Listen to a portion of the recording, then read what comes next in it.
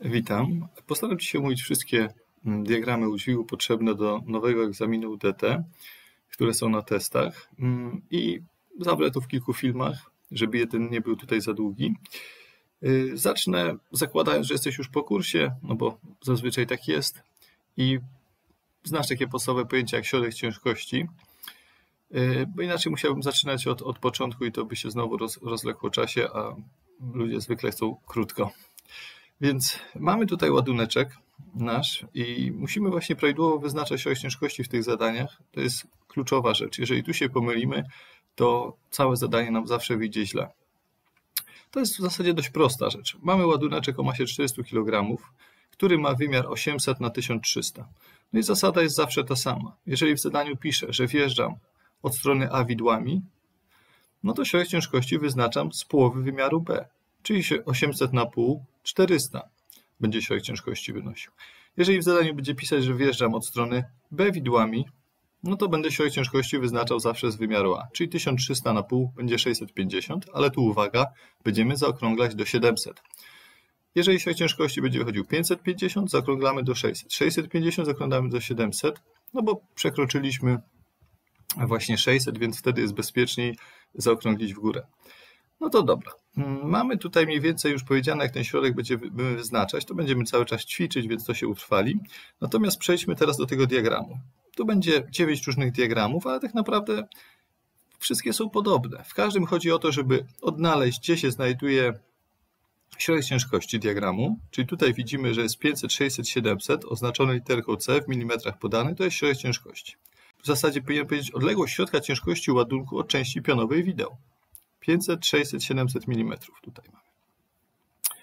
Im będzie dalej, tym udźwig będzie mniejszy. No bo zobacz, na środku ciężkości 500 można podnieść do 300 1200 kg. Na środku ciężkości 600 już tylko 1050, na środku ciężkości 700 650. Czyli musisz tu pamiętać o tej zasadzie, im dalej środek ciężkości ładunku od części pionowej wideł, czyli może być 500, 600, 700 mm, tym udźwig mniejszy. To jest zrozumiałe, dlatego że ciężar działa przez większe ramię działania siły, więc rośnie moment wywracający na wózek i musimy do, dokonywać redukcji udźwigu. Następny czynnik, który będzie miał wpływ na udźwig, no to jest wysokość, oznaczona literką H, też podana w milimetrach. Mamy tutaj 300, 4030, 4836. No i znowu zasada ta sama. No bo zobacz, na środku ciężkości 500, jak mamy wysokość 300, możemy podnieść 1200 kg. 4030 już tylko 950, 4836 już tylko 700. Czyli znowu zasada ta sama. Im wyżej, tym mniej. Im, jak środek ciężkości był im większy, tym mniej mogłem podnieść, tak samo tutaj. Yy, to też jest zrozumiałe, no bo znowu im wyżej podnoszę, rośnie ramię działania siły, ciężar tego ładunku, można powiedzieć, że też rośnie właśnie przez to. No i ten moment wywracający, który mógłby nam wywrócić wózek rośnie, więc im wyżej trzeba zredukować udźwig. No i znając takie podstawowe zasady, uwzględniając właśnie środek ciężkości i wysokość ładunku, na jaką będziemy podnosić, już jesteśmy w stanie tutaj znaleźć e, prawidłowy udźwig, dopuszczalny, bezpieczny udźwig przez producenta. No bo jak na przykład podnoszę na środku ciężkości 500 do 300, no to mogę podnieść 1200 kg. Prosta sprawa. Jak na 600 do 4,30 750 i tak dalej. E, powyżej 4,30 do 4836, no to mamy już na przykład na środku ciężkości 700-200 i tak dalej. No i tutaj będziemy to w trakcie w każdym razie przerabiać, więc tutaj mm, wprawimy się w tym. No to zacznijmy od tego zadania. W oparciu o przedstawiony diagram udźwigu i rysunek określ maksymalną bezpieczną wysokość podnoszenia ładunku pobranego od strony A Czyli, tak jak mówiliśmy, wjeżdżamy widłami od strony A, czyli tu będzie nasza część pionowa wideł, wjedziemy, tak, i nas interesuje, gdzie jest połowa tego ładunku. Bo jeżeli ładunek jest symetryczny, to właśnie tam się znajduje też środek ciężkości ładunku, czyli wyznaczymy odległość środka ciężkości w ten sposób od części pionowej wideł. No to wjeżdżamy od strony A, to wyznaczamy środek ciężkości ładunku z wymiaru B, wymiar B na pół, czyli 800 na pół to jest 400. Nie mamy 400, ale wszystko, co jest do 500, to jest 500. No i w pytaniu musimy odpowiedzieć sobie, na jaką maksymalną bezpieczną wysokość możemy podnieść ten ładunek po, pobrany od strony A. Na jaką maksymalną bezpieczną wysokość. Mamy środek ciężkości 500, ładunek waży 400 kg. No to dobra, to ja patrzę, na ile mogę go podnieść. Na 3100 mm, do 3100 mm ja mogę podnieść 1200 kg. Czyli mój ładunek jak najbardziej mogę podnieść, no bo on waży tylko 400 kg. No ale szukam maksymalnej wysokości. Powyżej 300 do 4030 mm ja mogę podnieść 950 kg. Dalej mogę podnieść mój ładunek, bo się tutaj mieści. Na 4836 mm mogę podnieść 700 kg, czyli dalej mój ładunek mogę podnieść. No to maksymalna w takim razie wysokość bezpieczna będzie 4836 mm. No bo jak widać na środku ciężkości 500, podnosząc na 4836 mm mogę podnieść 700 kg. Ja mam 400, więc spokojnie mogę podnieść. No to idziemy do następnego przykładu. Tutaj wjeżdżamy w ładunek od strony B widłami, czyli środek ciężkości wyznaczamy z wymiaru A. Wymiar A to 1300, na pół dzielimy, y, uzyskujemy środek ciężkości 650, czyli będzie co? Tak jak mówiliśmy, zaokrąglamy, będzie 700. 700 środek ciężkości. No i znowu szukam, na ile mogę podnieść najwyżej mój ładunek. I widzę, że e, na tym diagramie na 3100 mm na taką wysokość ja mogę podnieść 650 kg. Mój ładunek się tu mieści, więc mogę podnieść na 300, ale ja szukam maksymalnej wysokości bezpiecznej, więc szukam dalej. Na 4030 mm mogę podnieść 450 kg. Mój ładunek się w tym mieści, więc na 4030 mogę podnieść. No i na 4836 mm mogę powiedzieć tylko 200 kg, czyli mój ładunek przekracza dopuszczalny udźwig podany przez producenta wózka. Nie mogę podnieść, bo mogę przewrócić wózek, więc wracam niżej na 4030, bo tu mogłem 450 kg podnieść, mój ładunek się mieścił. Więc prawidłowa odpowiedź to będzie odpowiedź C 4030. No i następny przykład. W oparciu o przedstawiony diagram udźwigu i rysunek określ maksymalną bezpieczną wysokość podnoszenia ładunku pobranego od strony A. Czyli wjeżdżamy widłami od strony A, środek ciężkości wyznaczamy z połowy wymiaru B, czyli 800 na pół, czyli 400, czyli będziemy mieli 500, zaokrąglamy do 500, no i patrzymy, co możemy na tym diagramie podnieść na ile. Na 2700 mm na taką wysokość możemy podnieść 1400 kg na środku ciężkości 500. Więc nasz ładunek możemy podnieść jak najbardziej ale szukamy maksymalnej wysokości. Na 3510 możemy podnieść 1150 kg na środku ciężkości 500.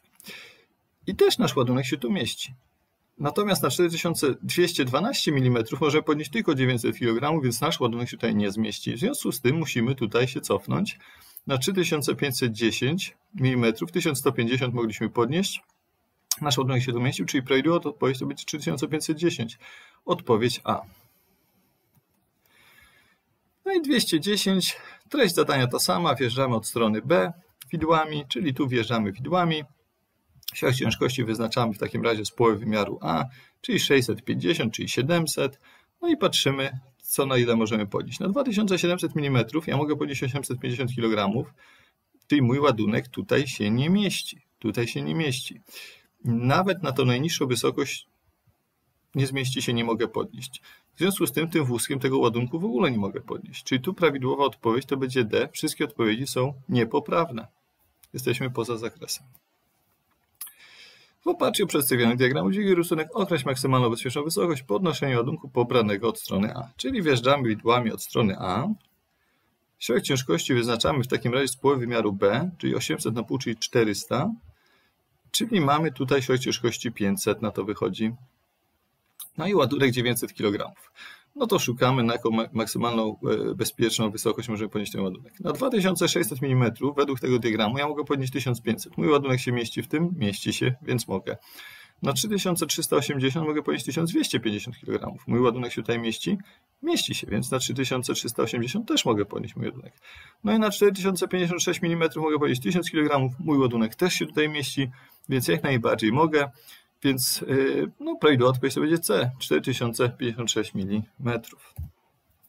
Aś ta sama, tylko wjeżdżamy od strony B.